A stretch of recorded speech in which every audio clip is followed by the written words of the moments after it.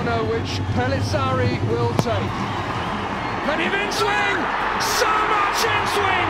It swung into the net! Chennai FC take the lead against Delhi Dynamos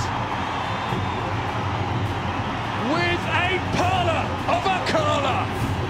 And I think he's struggling with his shoulder, Pelissari. I mean, it's another goal from the boys from Brazil.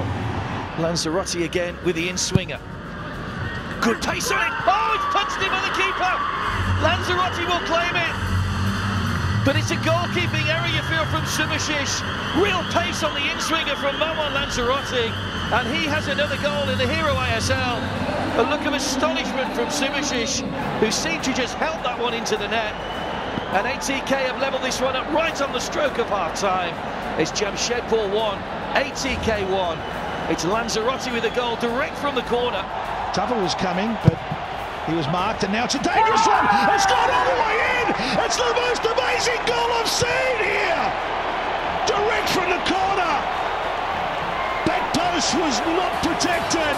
The keeper didn't get back, and Chennaiyin have scored a stunner here.